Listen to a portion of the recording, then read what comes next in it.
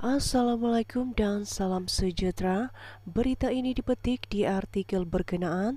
Sebelum itu adalah lebih baik di subscribe dulu MPTV channel agar Anda tidak ketinggalan artis-artis kesayangan Anda dalam dan luar negara. Terima kasih.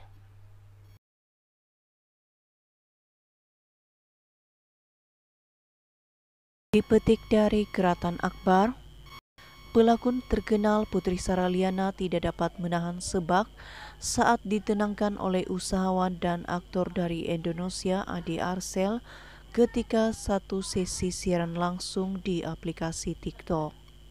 Menerusi video yang dikongsi di ikaun, Putri Sara dilihat menangis selepas teruk dikecam netizen di ruang komen.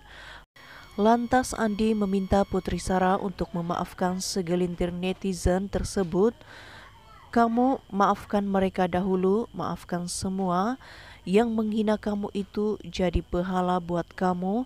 Sudahlah, maafkan sahaja mereka. Teruslah tersenyum, katanya.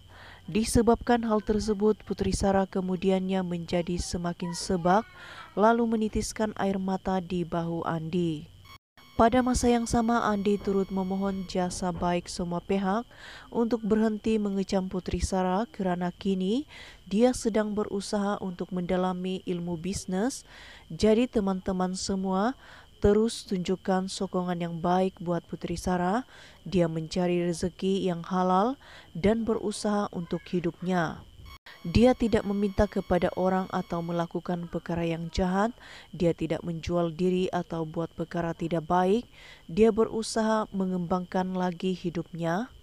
Dia kerja daripada pagi sampai malam, padahal dia baru saja jadi usahawan. Banyak hal yang masih belum dipahami. Mungkin ada salahnya, tapi tolong maafkan, katanya. Kata Andi lagi Putri Sarah sedang melakukan yang terbaik demi kehidupan dan anak-anaknya. Dia baru mengenal perjalanan hidup yang sangat sulit. Dia sedang berusaha untuk bangkit. Jadi dengan rendah hati tolong jangan hina dan bully Putri Sarah. Kalian juga mesti tidak suka diperlakukan sebegitu.